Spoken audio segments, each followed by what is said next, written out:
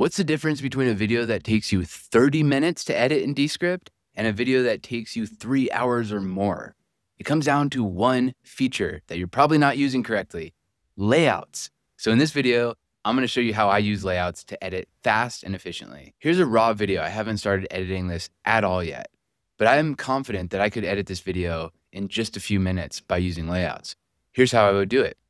Well, first of all, I'd make my cuts to it. So I'd select my bad takes. I would just delete those. And then I would find my hook like this. And right when I highlight those words where I want my hook to be, I can click change layout.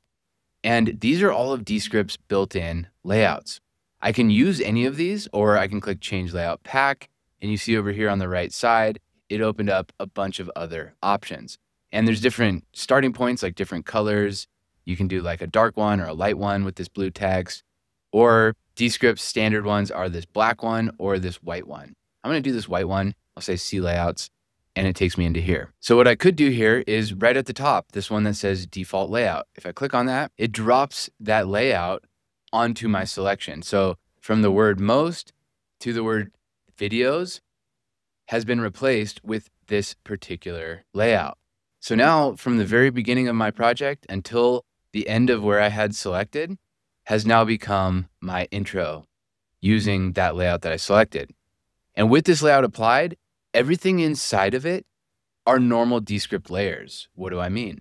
This thing that says default intro, I can simply click on it. And if I do a double click, it turns into an editable text element. So I can write in something like the topic of this video was filler word removal. So I'll type in filler word removal.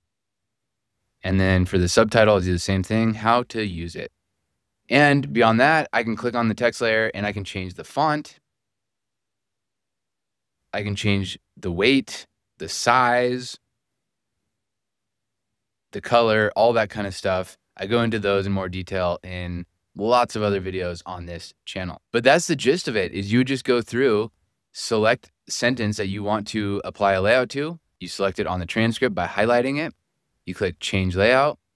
And then I'm going to go scroll through here to select one like speaker. These are different categories and they give you a little preview of what the layouts inside of this category look like. So for outro, you can see you got like little social media logos. Chapter, it's going to put a chapter title on one side and the speaker on one side. Speaker, it's going to put some text over the speaker. So if I click five more, you can see I have different options here. And some of these you got to be careful are for different aspect ratios. So like these mm. two are for portrait mode, these two are square. So I'm going to want to use one of these top two here and I'm going to select that one. And here's what it did. It put in the speaker name and the speaker title. And it went from where I started my selection to where I ended my selection. And you can see on the transcript, it drops these little thumbnails, these little images right where the scene starts, the next scene starts. So then I'm going to go from here. I'm going to make another selection, change layout, and this time I'm going to do a caption. So I'm going to find the captions pack. I'm going to click nine more, and I'm going to click on this one right here. And now over that part of my video, it's putting in captions. So it's reading off of my transcript and it just put it over a white background. As before, I could change this background to a different color. I could change the font of that text. I could change the size of that text. All of that kind of stuff is under my customization. And let's just do one more before I show you how to save these as your own. So I'm going to click, select my next selection, change layout. And let's say in this part, I'm going to put some B-roll. I'm going to put an image over my shoulder. To do that with a layout, you see this little preview right here where there's this little gray box that is a preview of a placeholder element. So it's something that I can replace with my own media. And so I'm going to click on show 23 more. I'm going to find one I like. So there's my over the shoulder that I said I was going for. I click on that and it drops it in. And now with that in, I can click on this placeholder element. Again, the placeholder element is this gray box. I say add media and I can add something from my computer, something that I've already got in my project files, or I could add stock media, which I'll do for the sake of demonstration. And I'm talking about AI, so let me just type in AI. Let's see what comes up. And I'll just pick, pick this first one here. And there we go. So using my layout that I selected, I have now placed in this nice B-roll up above my shoulder. So now that you have the gist of applying these built-in layouts and a little bit on how to customize them, to save one of these as your own, like let's say that I take this layout that I applied from Descript's built-in library, and I want this B-roll to be a little bit bigger. And I also want it to have a border around it. I'm going to put a white border around it. Just going to make that a little thicker.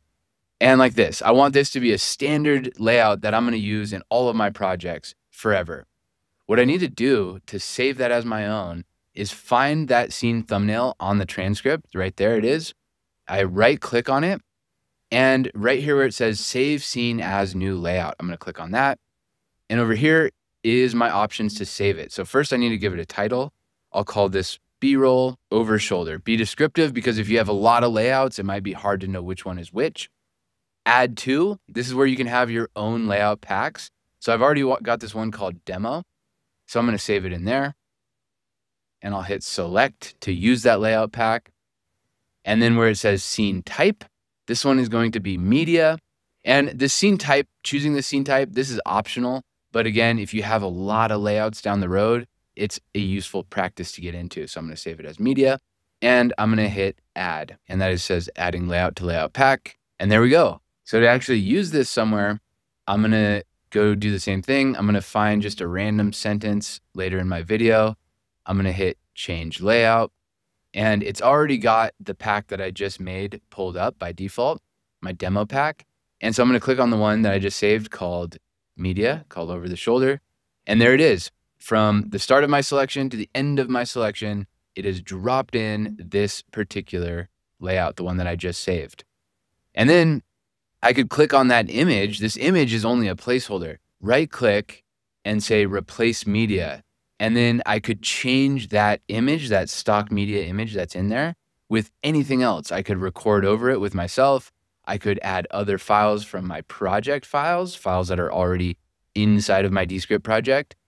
Or I could add something from my computer, something totally different that's never been inside of Descript yet. If you want to go deeper on layouts, I have an entire masterclass inside of the Descript Mastery School where I go into every possible aspect of layouts and check that out using the link for the Descript Mastery School right here.